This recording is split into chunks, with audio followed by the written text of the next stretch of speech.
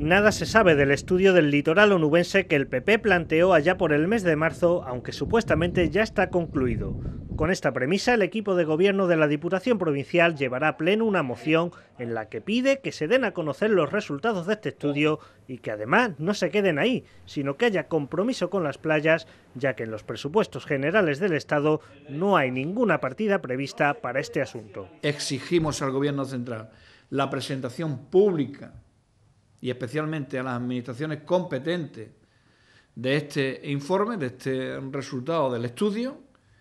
Queremos conocer las medidas concretas que contiene y, sobre todo, quién va a financiarlas y con qué plazo se va a llevar a cabo. Otra de las mociones que llevarán al Pleno los socialistas tendrá también como mira el Gobierno central. Se trata de exigir que se mantengan los partidos judiciales de la provincia, ya que el planteamiento actual del Gobierno es eliminar todos excepto los de la capital, con los problemas que eso conllevaría.